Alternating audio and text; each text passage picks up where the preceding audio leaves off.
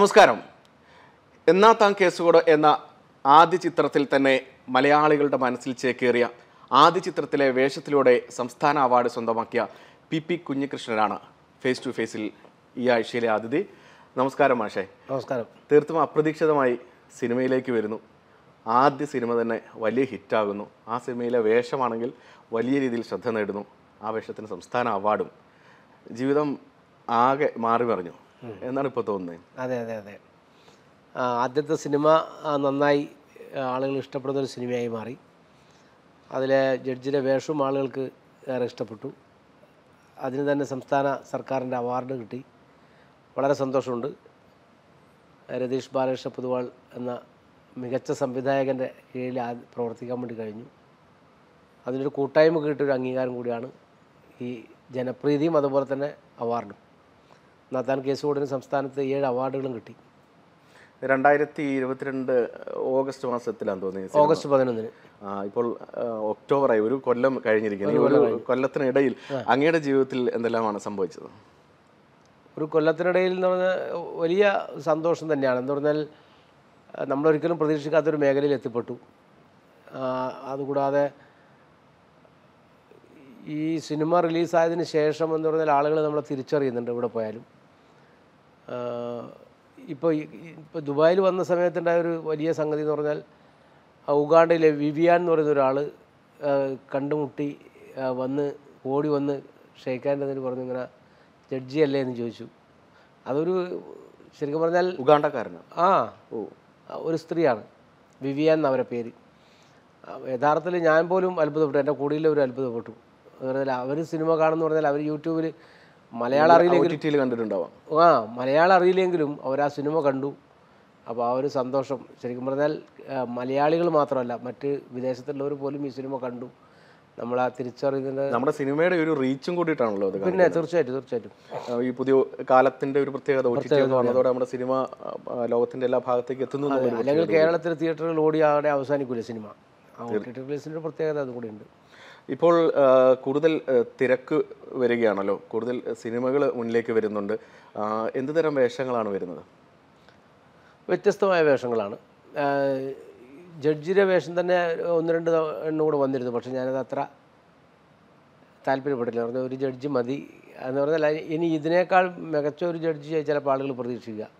ഈ ഇപ്പോൾ ഒരു കൊല്ലത്തിനിടയ്ക്ക് ഏതാണ്ട് പത്തോളം സിനിമകൾ പത്തിലധികം പത്തിലധികം സിനിമകൾ വന്നിട്ടുണ്ട്. അപ്പോൾ കൂടുതൽ സിനിമകൾ മാഷിന്റെ മുന്നിലേക്ക് എത്തുന്നുണ്ട്. അപ്പം ഈ ഒരു തെരഞ്ഞെടുപ്പ് കഥ വേഷം എന്ത് എന്നൊക്കെ ഉള്ളൊരു ചോദ്യങ്ങൾ തുടങ്ങി കഥ വായി കേട്ടിട്ട് തന്നെയാണ്.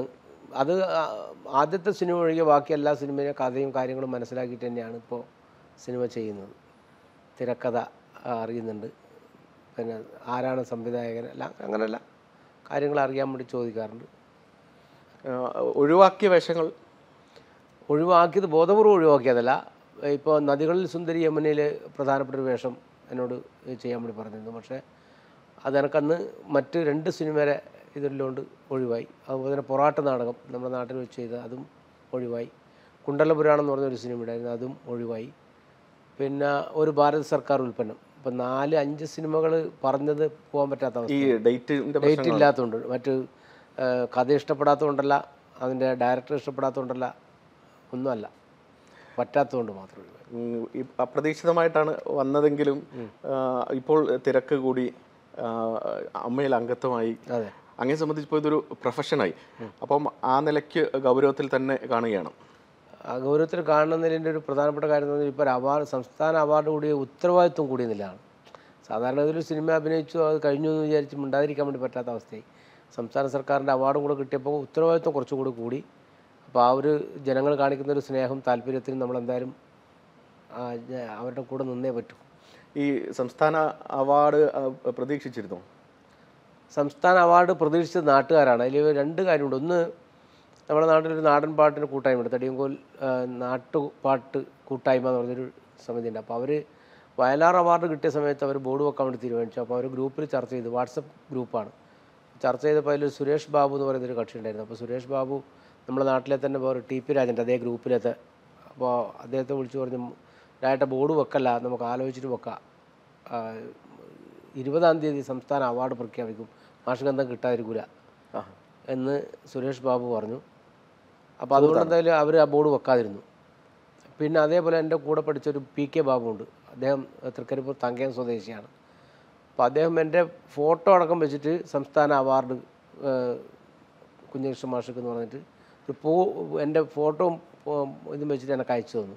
ഈ അവാർഡ് പ്രഖ്യാപിക്കുന്നതിന് മുമ്പേ. അപ്പോൾ അവരൊക്കെ ഒരു പ്രതീക്ഷിച്ചിരുന്നു ഇങ്ങനെ കിട്ടുന്നു. പക്ഷേ എന്നെ സംബന്ധിച്ചിടത്തോളം അങ്ങനെ പ്രതീക്ഷിക്കാൻ എന്താ പറയുക വലിയ സംസ്ഥാന അവാർഡ് പ്രതീക്ഷിക്കാൻ പറ്റില്ലല്ലോ. എന്താ പറയുക പത്ത് നൂറ്റമ്പത്തിനാല് സിനിമ അതിലത്തെ പ്രഗത്ഭരായിട്ടുള്ള നടന്മാർക്ക് ആ വലിയ പ്രഗത്ഭന്മാരായിട്ടുള്ള നടന്മാർ കിട്ടുന്ന. ഒരിക്കലും നമ്മൾ പ്രതീക്ഷിക്കുന്നതിൽ അർത്ഥമില്ല. പക്ഷേ പ്രഖ്യാപിക്കുന്ന സമയത്ത് സജി ചെറിയാൻ ബഹുമാനപ്പെട്ട മന്ത്രി അത് പറഞ്ഞു എന്താണ് ആഹ് ഏറ്റവും മികച്ച നടൻ മമ്മൂട്ടി അലൻസിയർ സിയർ പിന്നെ ചാക്കോച്ചന്റെ പേര് പറഞ്ഞ് അടുത്ത നാലാമത്തെ പേര് പി പി കുഞ്ഞകൃഷ്ണൻ സ്വഭാവം നടന്ന് പറയുമ്പോൾ അവരെ കൂട്ടത്തിലൊരാൾ എന്നെ എനിക്കും എന്റെ ഒരു പേര് എന്റെ നാട് ഏറ്റവും ഗ്രാമീണമായിട്ടുള്ളൊരു പ്രദേശമാണ് എന്റെ നാട് എന്ന് പറയുന്നത് എന്ന് പറയുന്നത്. അപ്പോൾ അവിടെ നിന്നും എനിക്കൊരു അവാർഡ് കിട്ടിയപ്പോൾ നേരത്തെ ഇത് നാട്ടുകാർക്കാണ് ശരിക്കും പറയുന്നത് വലിയ സന്തോഷം എന്ന് പറയുന്നത്. ഈ അവാർഡ് കിട്ടിയതിന് ശേഷം അങ്ങയിലേക്ക് വരുന്ന വേഷങ്ങളിൽ എന്തെങ്കിലും വ്യത്യാസം സംഭവിക്കുന്നുണ്ടോ? വ്യത്യസ്തമായ റോളുകളാണ്. ഇപ്പോൾ ഇനിയും ഇപ്പം ഇപ്പം നാല് സിനിമ റിലീസായത്. കാസർഗോഡ് പഞ്ച കാസർഗോഡ് നാത്താൻ കേസോട് അതുപോലെ തന്നെ മദനോത്സവം കൊറോണ പേപ്പേഴ്സ്. ഈ നാലും വ്യത്യസ്തമാണ് വേഷം. ഇനി വരാൻ വേണ്ടി പോകുന്നത് പഞ്ചവത്സര പദ്ധതിയാണ്. പഞ്ചവത്സര പദ്ധതിയിലും വ്യത്യസ്തമായിട്ടുള്ള റോൾ തന്നെയാണ്. അതുപോലെ തന്നെ ഒരു ജാതി ജാതകം മോഹനൻ മണ്ടൂടി സംവിധാനം ചെയ്തത് ശ്രീനിവാസനും വിനീത് ശ്രീനിവാസനും ചെയ്യാൻ വേണ്ടി വെച്ച റോളാണ്. പക്ഷേ ശ്രീനേട്ട് സുഖമില്ലാത്തതുകൊണ്ട് ശ്രീ ശ്രീനേട്ടന്റെ റോൾ അങ്ങനെ ഒരു ജാതി ജാതകത്തിൽ വിനീത് ശ്രീനിവാസന്റെ അച്ഛനായി ഞാൻ അഭിനയിക്കുന്നുണ്ട്. അതുപോലെ ഗുരുവായൂർ അമ്പലനടയിൽ പൃഥ്വിരാജ് ബേസിൽ ജോസഫ് അഭിനയിക്കുന്ന ഒരു സിനിമയുണ്ട്. പിന്നീട് ഒറ്റ അത് റസൂൽ പൂക്കുട്ടി ആദ്യമായി സംവിധാനം ചെയ്യുന്നൊരു സിനിമയാണ്. അതിലുണ്ട്. പിന്നെ തിമിംഗല വേട്ട എന്നൊരു സിനിമയുണ്ട്. എല്ലാം വ്യത്യസ്ത ക്യാരക്ടറാണ്. ഒന്നും അല്ല. ഏതെങ്കിലും തരത്തിലുള്ള വേഷങ്ങൾ ചെയ്യണമെന്ന് ആഗ്രഹമുണ്ടോ? നമ്മൾ ഏറ്റവും കൂടുതൽ സിനിമ കാണുമ്പം വല്ലാതെ താല്പര്യപ്പെട്ട ആളുകളാണ്. എല്ലാ നടന്മാരും ഇഷ്ടമാണ് പ്രത്യേകിച്ച് ജഗതിയേട്ടൻ പോലത്തെ ഇന്നസെന്റ് ഏട്ടന്റെ ഒക്കെ വേഷം കാണുമ്പോൾ അറിയാതെ ചിരിച്ചു പോകുന്ന ഒരുപാട് റോളുകളില്ലേ? അവരുടെ ഒരു അഭിനയവും അവരൊരു മാനറിസും. അപ്പോൾ അതൊക്കെ ഇഷ്ടമാണ് അപ്പം അത്തരം റോളുകൾ അല്ലേ ഒരാഗ്രഹം. തീർച്ചയായിട്ടും. ഈ ഇപ്പോൾ ഒരുപാട് സിനിമകൾ വരുന്നു. കാശൊക്കെ ചോദിച്ചു വാങ്ങിക്കാൻ തുടങ്ങിയോ? പേയ്മെന്റ്? ഞാൻ കാശ് ചോദിച്ചു വാങ്ങിക്കാറില്ല. അങ്ങനെയല്ല. കഥ കേട്ടു. കേട്ട് കഴിഞ്ഞാൽ സ്വാഭാവികമായിട്ടും ഇവിടെ പ്രൊഡക്ഷന്റെ ഭാഗത്ത് നിന്ന് വിളിക്കും. അപ്പോൾ അത്ര പൈസ എന്ന് അവരിങ്ങോട്ട് ചോദിക്കും. പക്ഷെ ഞാൻ അവരോട് ഇത്ര പൈസ എന്ന് പറയാറില്ല. അവർ തരും. ഈ ഇന്നാത്താം കേസോടിൽ നിന്ന് നേരെ പോകുന്നത് ഈ പ്രിയദർശന്റെ സെറ്റിലേക്കാണല്ലോ. പ്രിയദർശൻ വളരെ സീനിയറായ നൂറോളം സിനിമകളൊക്കെ സംവിധാനം ചെയ്ത ഇന്ത്യയിലെ തന്നെ തലമുതിർന്ന ഒരു സംവിധായകൻ. ഒരു ഭയപ്പാടുണ്ടായിരുന്നു. അദ്ദേഹത്തിന് മുമ്പിലേക്ക് പോകാൻ ഒരു പേടിയുണ്ടായിരുന്നു. പക്ഷേ അദ്ദേഹത്തിന്റെ അടുത്ത് ഒരു പേടിക്കേണ്ട കാര്യമില്ല എന്ന് പിന്നീട് മനസ്സിലായി. അദ്ദേഹം വിളിച്ച് അടുത്തിരുത്തി സംസാരിച്ചു. പിന്നെ അതുമാത്രമല്ല ഇന്റർവ്യൂ സമയത്ത് അതായത് ഈ റിലീസിങ് സമയത്ത് നമ്മൾ പ്രസ് കോൺഫറൻസ് വിളിച്ചപ്പോൾ എന്നെ ഏറ്റവും അടുത്തിരുത്തി. അതെനിക്ക് ജീവിതത്തിൽ വലിയ ഒരു അനുഭവമാണ്. ആ നിങ്ങളത് കണ്ടിട്ടുണ്ടെങ്കിൽ മനസ്സിലാവും. നിങ്ങൾ ആ പത്രസമ്മേളനം കണ്ടാൽ പ്രിയദർശൻ സാറിന്റെ തൊട്ടടുത്ത സീറ്റിലാണ് ഞാനിരിക്കുന്നത്. അപ്പോൾ എനിക്ക് അതിനപ്പുറം വേറെ എന്തുകൊണ്ട് ഈ ആദ്യ സിനിമയിൽ ഒരു പുതിയ ആളായിട്ട് എത്തുകയായിരുന്നല്ലോ. രണ്ടാമത് പ്രിയദർശന്റെ സിനിമയിലേക്ക് എത്തുന്നതിൽ ഒരു സർക്കിളിന്റെ വേഷം സാമാന്യം ഭേദപ്പെട്ട ഇതിൽ താങ്കൾക്ക് ചെയ്യാനുള്ളൊരു വേഷം ഉണ്ടായിരുന്നു അത്. അപ്പോൾ അതിന് ഏതെങ്കിലും നിലക്കുള്ള ഒരു തയ്യാറെടുപ്പുകൾ ഉണ്ടായിരുന്നു ആദ്യത്തെ സിനിമ ഒരു പുതിയ ഒരാൾ രണ്ടാമത്തെ ഒരു സിനിമയിലേക്ക് വരുമ്പോഴുള്ള തയ്യാറെടുപ്പ്. അങ്ങനെ ഒരു പ്രത്യേകിച്ച് തയ്യാറെടുപ്പ് കാര്യമൊന്നുമില്ല. അദ്ദേഹം പറഞ്ഞു തന്നിട്ടുണ്ടായിരുന്നു ഇങ്ങനെ അദ്ദേഹത്തിന്റെ അദ്ദേഹത്തിന്റെ അസോസിയേറ്റിലെ മറ്റേ അഭയ് അവർ പറഞ്ഞു തന്നിരുന്നു ഇങ്ങനെ മേഷർ ഇതാന്ന് പറഞ്ഞിരുന്നു. എന്നാത്താൻ കേസോട് എടുക്കുമ്പോൾ. അതിന്റെ അകത്ത് ഒരു സാധാരണ സിനിമയല്ല ഒരു വ്യത്യസ്തമായ രീതിയാണ് വ്യത്യസ്തമായ പ്രമേയമാണ്. അങ്ങ് കൈകാര്യം ചെയ്ത ഈ മജിസ്ട്രേറ്റ് ആണെങ്കിൽ നമ്മൾ ഇന്നോളം മലയാള സിനിമയിൽ ഇത്തരം ഒരു കോർട്ട് റൂം കണ്ടിട്ടില്ല ഒരു മജിസ്ട്രേറ്റിനെ കണ്ടിട്ടില്ല. വളരെ ശ്രദ്ധയോടെ കൈകാര്യം ചെയ്തില്ലെങ്കിൽ പാളി പോകാനുള്ള സാധ്യതകളൊക്കെ ഉള്ളൊരു വേഷമായിരുന്നു. ഇത് ഏറ്റെടുക്കുമ്പോൾ ചെയ്തു തുടങ്ങുമ്പോൾ ഇത് ഇത്രത്തോളം വലിയൊരു കഥാപാത്രമാണ് അല്ലെങ്കിൽ ഇത്രത്തോളം വ്യാപ്തി ഇതിനുണ്ട് എന്ന് അറിയുമായിരുന്നു. ആദ്യം ഇത്രത്തോളം മനസ്സിലാക്കിയില്ല. പിന്നീടാണ് ഷൂട്ടിംഗ് നടക്കുമ്പോഴാണ് മനസ്സിലായത് കുറച്ചും കൂടി നല്ല റോളാണെന്ന് മനസ്സിലായത്. ഈ അതിൽ അതിലെ ആ കോർട്ട് റൂമിലെ തന്നെ പല സംഭാഷണങ്ങളും തിയേറ്ററിൽ വലിയ ചിരി ഉണർത്തിയിട്ടുള്ള സംഭാഷണങ്ങളാണ്. അപ്പം ആ കോർട്ട് റൂമിൽ തന്നെ ഇപ്പോൾ മജിസ്ട്രേറ്റ് ചോദിക്കുന്നുണ്ട് ശുക്രുവക്കിൽ താൻ എന്തൊക്കെ ബേഗഡ് പറയുന്നു? ഞാൻ എന്തൊക്കെ കേട്ടില്ലേ? എന്നുള്ളൊരു സംഭാഷണം. ഇതൊക്കെ ഈ സ്ക്രിപ്റ്റഡ് ആയിരുന്നു അതോ? എല്ലാം സ്ക്രിപ്റ്റിൽ ഇല്ല തന്നെയാണ്. ചിലത് ചിലപ്പോൾ ഇപ്പൊ നിങ്ങളുടെ നാടൻ ഭാഷകളൊക്കെ അതിൽ ഉപയോഗിച്ചു പോവാണ് അതെ അതെ അതെ അതെ. അതൊക്കെ സംവിധായകനൊരു സ്വാതന്ത്ര്യം തന്നുന്നില്ല സാധാരണഗതിയിൽ ഭയങ്കര ഇല്ല അങ്ങനെ സിനിമാ സംവിധായകർക്ക് ബലം പിടിച്ചത്. പക്ഷേ രതീഷ് ബാലകൃഷ്ണ പൊതുവെ നമ്മളുമായിട്ട് നന്നായി കോപ്പറേറ്റ് ചെയ്ത് നന്നായി ചെയ്തുകൊണ്ട് സ്വാഭാവികമായി നിങ്ങളുടേതായ ഒരു രീതിയിൽ ചെയ്യാനുള്ള സ്വാതന്ത്ര്യം തന്നിരുന്നു. സുരേഷൻ ചോദിക്കുമല്ലോ മജിസ്ട്രേറ്റ് അല്ലേ അപ്പൊ ഇത് വലിയ ചിരിയാണല്ലോ സൃഷ്ടിക്കുന്നത്. ഇപ്പൊ നിങ്ങൾക്ക് ഈ ഷൂട്ടിനിടയിൽ ഇത് നിങ്ങൾക്ക് നിങ്ങളുടെ ഷൂട്ടിനെ തടസ്സപ്പെടുത്തും വിധം നിങ്ങൾക്കിടയിൽ ചിരി ഉണർത്തുന്നുണ്ടായിരുന്നു? ചിരിക്കാൻ വേണ്ടി പറ്റില്ലല്ലോ ചിരി വന്നാലും ഇത് ക്യാമറയിൽ അതാ സമയത്ത് ചെയ്യുന്നല്ലേ ആളുകൾ ഓഡിയൻസ് ആയിട്ട് അല്ലെങ്കിൽ ഈ കോടതി മുറിയിൽ ആളുകൾ ഇരിക്കുമ്പോൾ എന്തായാലും സ്വാഭാവിക ചിരി ഉണ്ടാവും പക്ഷെ എന്നാൽ പോലും അത് പരമാവധി ആൾ ശ്രദ്ധിക്കാത്ത വിധത്തിൽ കാര്യങ്ങൾ ഷൂട്ട് ചെയ്യാൻ വേണ്ടി അവർ അവർ അവരുടെ ടീം ഇതിനു മുൻപൊരു പ്രീ ഷൂട്ടൊക്കെ വെച്ച് പുതിയ ആളുകൾ നിങ്ങളുടെ ഗ്രാമത്തിൽ നിന്നൊക്കെ വന്നവരോ അല്ലെങ്കിൽ ആ പ്രദേശത്തുള്ളവരൊക്കെ ആയിരുന്നല്ലോ?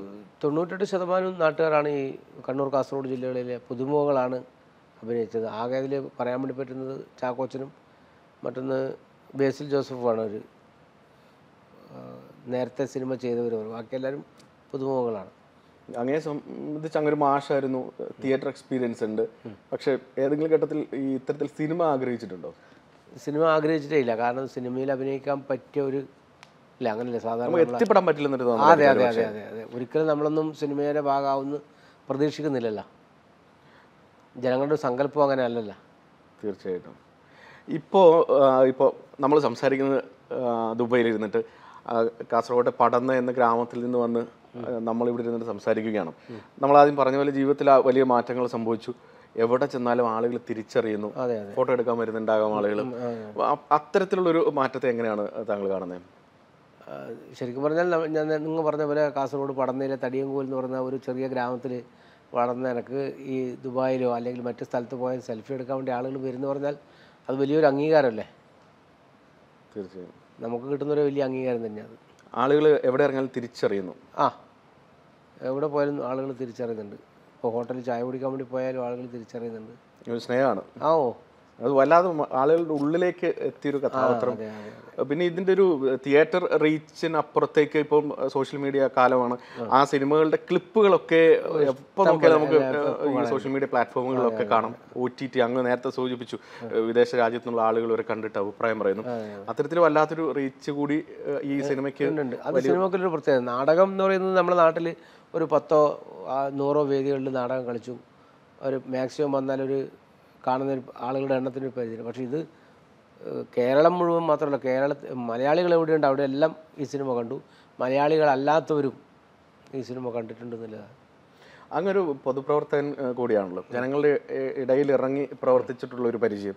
മറ്റൊന്ന് തിയേറ്ററിൽ ഉള്ള അതും എമേച്ചൂർ നാടകങ്ങൾ ചെയ്തിട്ടുള്ള എക്സ്പീരിയൻസ് വല്ലാത്തൊരു എക്സ്പീരിയൻസ് ആണല്ലോ അപ്പോൾ ഇത്തരത്തിലുള്ള ഈ എക്സ്പീരിയൻസുകളെല്ലാം കൂടി ചേരുമ്പോൾ ഉള്ളൊരു നാട്ടുപുറത്തുകാരൻ എന്നുള്ള അനുഭവം എല്ലാം ഇത്തരത്തിലുള്ള വേഷങ്ങൾ ചെയ്യാനൊരു കൂടുതൽ കരുത്ത്. കരുത്ത് തന്നെയാണ്. സംശയമൊന്നുമില്ല. എന്ന് പറഞ്ഞാൽ ജനങ്ങളുടെ ഇടയിൽ നിൽക്കുന്നതുകൊണ്ടാണ് നമുക്ക്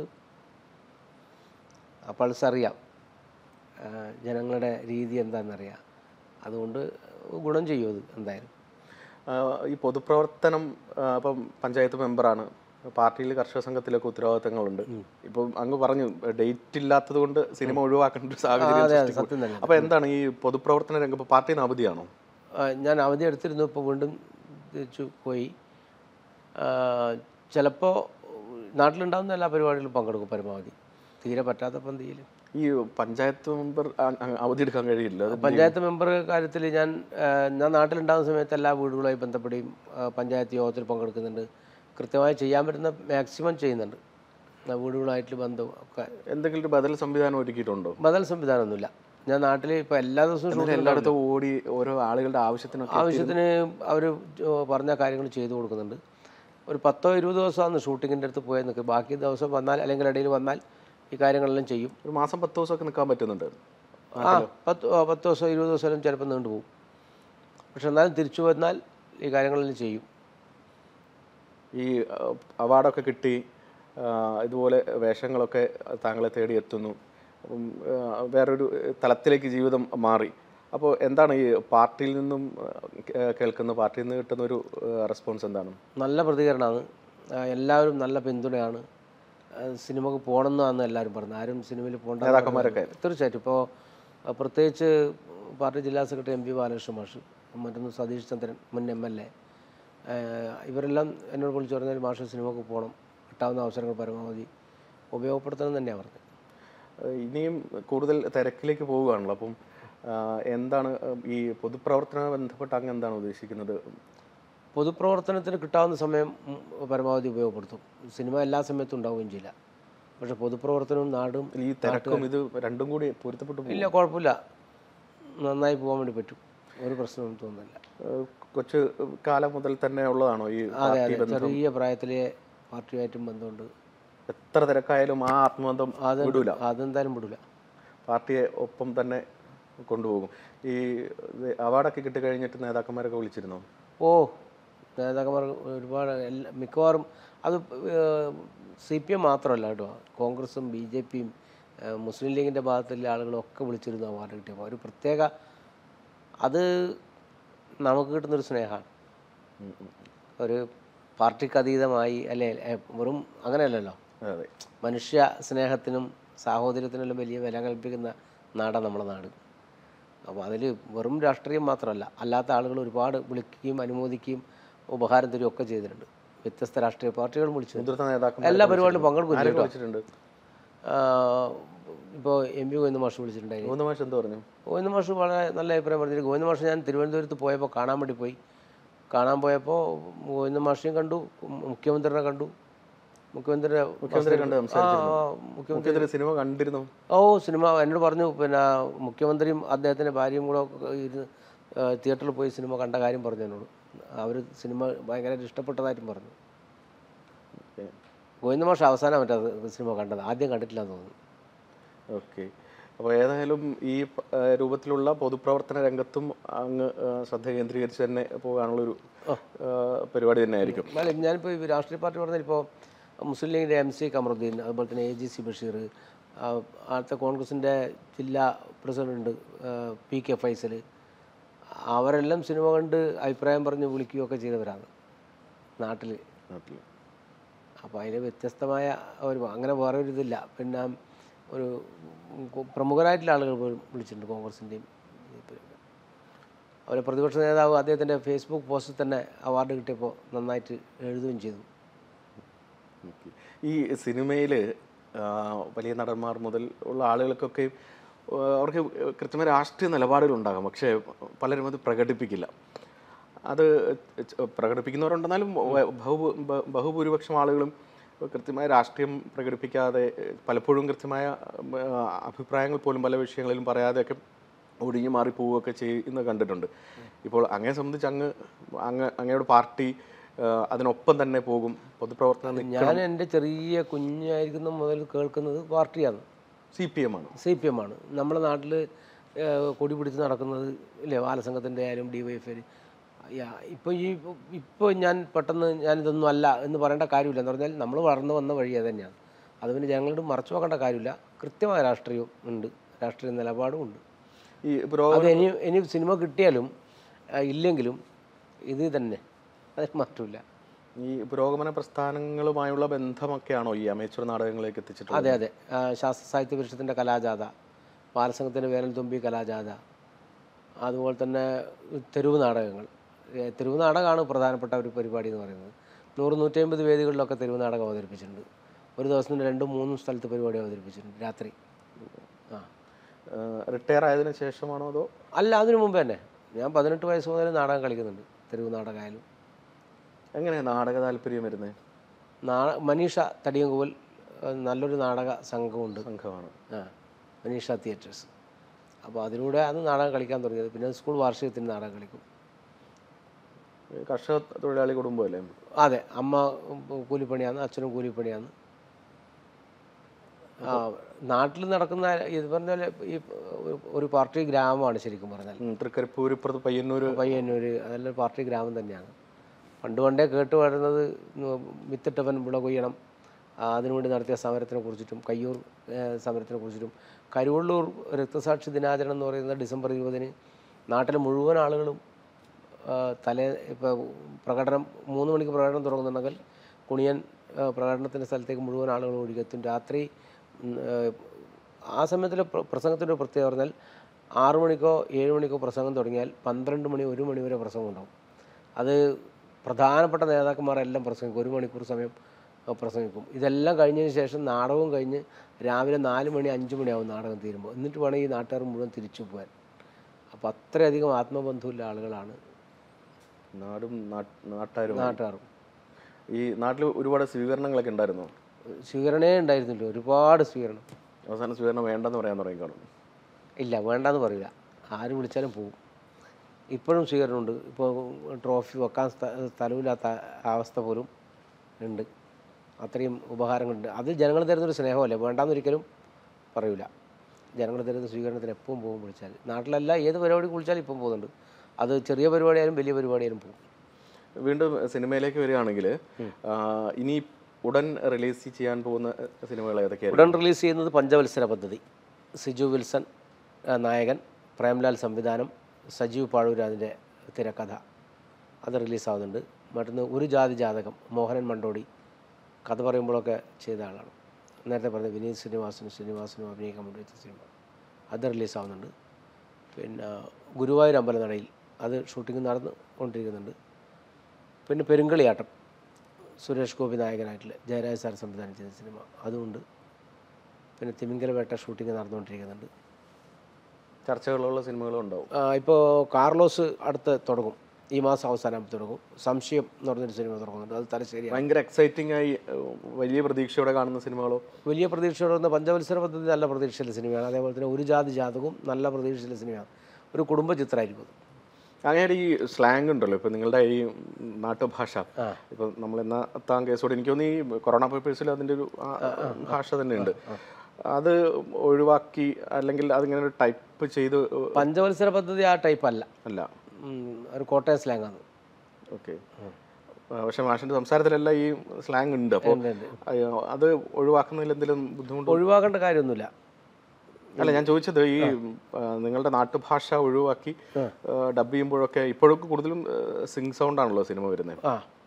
അത് ഇപ്പം ഞാൻ പറഞ്ഞില്ലേ പഞ്ചവത്സര പദ്ധതി നേരെ നമ്മളെ സ്ലാങ്ങേ അല്ല. ഇല്ല. ഒറ്റ അതല്ല. ഒറ്റയിലും നാടൻ ഗുരുവായൂർ അമ്പല നടയിലും അങ്ങനെ കാസർഗോഡ് സ്ലാങ് അല്ല. വ്യത്യസ്തമായിട്ടില്ല അത്. ജനറൽ ബോഡിയിൽ പങ്കെടുത്തു ഒരുപാട് താരങ്ങളും മഹാരഥന്മാരായിട്ടുള്ള അഭിനേതാക്കളും ഒക്കെ അവിടെ ഉണ്ടല്ലോ. അവരൊക്കെ അങ്ങ് ഒരു ഗ്രാമത്തിൽ നിന്ന് വന്ന ഒരു ആൾ വളരെ വേഗത്തിൽ സിനിമയിൽ ശ്രദ്ധ നേടുന്നു. അതും ഈ എന്നാത്താം കേസോട് എന്ന് പറയുന്ന വേഷം എല്ലാവരും കണ്ടിട്ടുണ്ടാവുമായിരിക്കും എന്താ അഭിപ്രായം പറഞ്ഞത് എല്ലാവരും നന്നായിട്ട് എല്ലാവരും കണ്ടവരാണ്. നല്ല അഭിപ്രായം പറഞ്ഞു. മോഹൻലാലും മമ്മൂട്ടിയും എല്ലാവരും. സീമ ചേച്ചിനെ കണ്ടുപിടിച്ച് നിങ്ങളെ ഫാനാന്ന് ഞാൻ എന്നാണ് എന്നോട് പറഞ്ഞത്. അവർ കാണിക്കുന്നൊരു സ്നേഹമുണ്ടല്ലോ.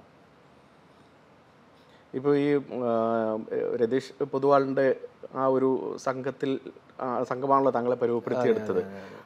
അവരുടെ പിന്നീട് ആ ടീമിന്റെ വന്ന മദനോത്സവത്തിൽ അങ്ങ് ഉണ്ടായിരുന്നു പുതിയ ചിത്രത്തിൽ വിളിച്ചില്ലേ? പുതിയ ചിത്രത്തിൽ പിന്നെ സുരേഷിന്റെയും സുമലതയുടെയും ഹൃദയഹാരിയായ ഒരു പ്രണയകഥ. അതിന്റെ ഷൂട്ടിങ് പയ്യന്നൂർ ആരംഭിച്ചു. അപ്പോൾ ആരംഭിക്കാൻ തന്നെ വിളിച്ചിരുന്നു. ഇങ്ങനെ സിനിമ എടുക്കുന്നുണ്ട്. പുതിയ സിനിമ. നിങ്ങൾക്ക് റോളില്ല എന്ന് എന്നോട് പറഞ്ഞിട്ട്. അപ്പോൾ ഞാൻ പറഞ്ഞു എനിക്ക് എന്തായാലും റോൾ എന്ന് പറഞ്ഞു ഞാൻ. ഫ്രീ ആയിട്ട് സംസാരിക്കാമല്ലോ അപ്പോൾ അപ്പോൾ അത് ആ രീതിയിലല്ല അതിന്റെ കഥ പോകുന്നത്. അതുകൊണ്ട് ചിലപ്പോൾ ഉണ്ടാവാൻ സാധ്യതയില്ല. ടീം ഉണ്ടോ ഇല്ല പഴയ ആരുമില്ല. എല്ലാം പുതിയ ആളാണ്. ആകെയുള്ളത് സുരേശൻ സുമലതയായിട്ട് അഭിനയിച്ച ടീച്ചറും ചിത്ര പിന്നെ ചാക്കോച്ചനുണ്ട്. ചാക്കോച്ചന് ഒരു റോളുണ്ട് അതിൽ ഒരു പഴയ ടീം ഉണ്ടോ അതിന്റെ അകത്ത്? ഇല്ല പഴയ ആരുമില്ല. എല്ലാം പുതിയ ആളാണ്. ആകെയുള്ളത് സുരേശൻ സുമലതയായിട്ട് അഭിനയിച്ച ടീച്ചറും ചിത്ര പിന്നെ ചാക്കോച്ചനുണ്ട്. ചാക്കോച്ചന് ഒരു റോൾ അതിൽ ഇവർ ഒരുപാട് പുതിയ ആളുകൾക്ക് വേഷം കൊടുക്കുന്നുണ്ടെന്ന് തോന്നുന്നു. ഇപ്പം നമ്മൾ ആൻഡ്രോയിഡ് കുഞ്ഞ് എടുക്കുമ്പോഴാണെങ്കിലും പുതിയ ആൾ വന്നു. ഇതിൽ നിങ്ങളുടെ സിനിമയിൽ ഒരുപാട് ആളുകൾ വരുന്നുണ്ട്. ഗ്രാമങ്ങളിൽ നിന്നും കലാകാരന്മാരെ കണ്ടെത്തുകയാണോ? കാരണം എന്ന് പറഞ്ഞാൽ മുമ്പ് കണ്ണൂർ കാസർഗോഡ് ജില്ലകളിൽ സിനിമാ നടന്മാരുടെ എണ്ണം എന്ന് പറഞ്ഞാൽ വളരെ വളരെ കുറവാണ്. ഇല്ലാന്ന് തന്നെ പറയാം. ഇപ്പാണ് ഇല്ല കെ യു മനോജ് വന്നു. അപ്പോൾ ഒരുപാട് കലാകാരന്മാരില്ല നാടാണ് നമ്മുടെ നാട്. പക്ഷെ അവർക്ക് വേണ്ടത്ര അവസരം സിനിമ തന്നെ കാസർഗോഡേക്ക് എത്തുന്നുണ്ടായിരുന്നില്ല. അതെ. എനിക്ക് ഒരുപാട് സിനിമകളിലൊക്കെ തൊട്ടാന്ന് തോന്നുന്നു. ലൊക്കേഷൻ ഒരുപാട് സിനിമയുടെ ലൊക്കേഷൻ ഉണ്ട്. വരുന്നുണ്ട്. പിന്നെ ഒരുപാട് നാടക കലാകാരന്മാരൊക്കെ ഉള്ള നാടാണ് ഒരുപാട് കലാകാരന്മാർ അവർക്ക് അവസരം കിട്ടുന്നില്ല എന്നുള്ളത്. പക്ഷെ ഇപ്പം അതിനൊരു മാറ്റം വന്നു.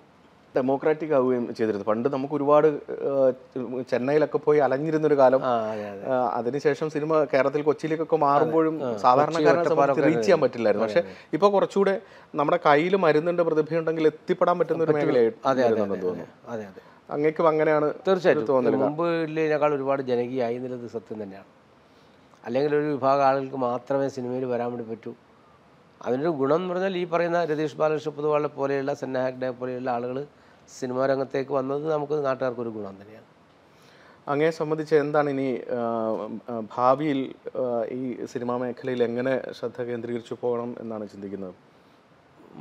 സിനിമ അവസരങ്ങൾ കിട്ടിയാൽ എന്തായാലും സജീവമായിട്ടുണ്ടാവും. ഇപ്പോൾ കൈ നിറയെ അവസരങ്ങളുണ്ട്. ഇപ്പോൾ ഉണ്ട്. കുഴപ്പമില്ലാണ്ട് പോകുന്നുണ്ട്. നല്ല വേഷങ്ങൾ ചെയ്താൽ വീണ്ടും വിളിക്കും എന്ന പ്രതീക്ഷ ടൈപ്പ് കാസ്റ്റ് ചെയ്യപ്പെടാതെ ശ്രദ്ധിച്ചു പോകണമെന്ന് ചിന്തിക്കുന്നുണ്ടോ? ആ എന്തായാലും ഇന്ന് ഔട്ടായ പിന്നെ രക്ഷയില്ല. പക്ഷേ പരമാവധി നിൽക്കാൻ പറ്റില്ല. ഇപ്പം എല്ലാ കാലത്തും ഇതിൽ പിടിച്ചു നിൽക്കാൻ വേണ്ടി പറ്റുന്ന വിശ്വാസം. വൈവിധ്യങ്ങളുണ്ട് വൈവിധ്യമുണ്ട് അതൊരു പ്രത്യേകത തന്നെ ഒരു ഗുണം തന്നെയാണ്. പിന്നെ സംവിധായകന്മാർ വിളിക്കുമ്പോൾ ആ രീതിയിൽ അവർ ആലോചിച്ച് തന്നെയാണ് വിളിക്കുന്നത്. ഇപ്പോൾ അടുത്ത കാലത്ത് ഇപ്പോൾ ഒരു നമ്മളെ മനസ്സിൽ കണ്ടുകൊണ്ട് എഴുതിയ സിനിമ സ്ക്രിപ്റ്റ് പോലും വരുന്നുണ്ടെന്നില്ല. മുമ്പേ അങ്ങനെയല്ല. നേരത്തെ ഇല്ല സിനിമ എന്ന് പറഞ്ഞാൽ എന്നെ കണ്ടു എഴുതിയ സിനിമയൊന്നുമല്ലല്ലോ അല്ലല്ലോ. മാഷ് നല്ല പാട്ട് പാടുന്ന പല വീഡിയോസിലും ഞാൻ കണ്ടിട്ടുണ്ട്. നമുക്കൊരു പാട്ട് പാടി അവസാനിപ്പിക്കാം. പൂമലാളെ കണ്ടു ഞാൻ പൂങ്കിനാവിൽ താരകങ്ങൾ പുഞ്ചിരിച്ച നീലരാവിൽ.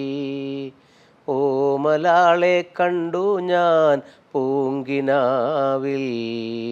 താരകങ്ങൾ പുഞ്ചിരിച്ച നീലരാവിൽ. ഓക്കെ പക്ഷേ ഏതായാലും വളരെ നന്ദി. ഇത്രയും സമയം ഞങ്ങൾക്കൊപ്പം ചെലവഴിച്ചതിന് എല്ലാ ആശംസകളും ഓക്കെ ഓക്കെ ഓക്കെ.